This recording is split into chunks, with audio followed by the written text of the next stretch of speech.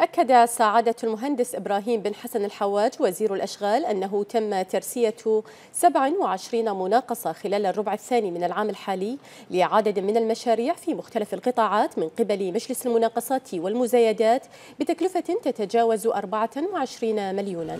وأوضح سعادة وزير الأشغال أن هذه المشاريع توزعت على مختلف قطاعات الوزارة.